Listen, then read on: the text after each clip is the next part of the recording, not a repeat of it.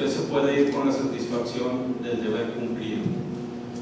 Yo tengo la convicción y la seguridad de que cuando se hable de Miguel Riquelme y más en el proyecto que usted está por emprender, se hable respecto al trabajo que realizó, porque en la política hay malquerientes, hay corrientes que pueden asociar ciertos trabajos.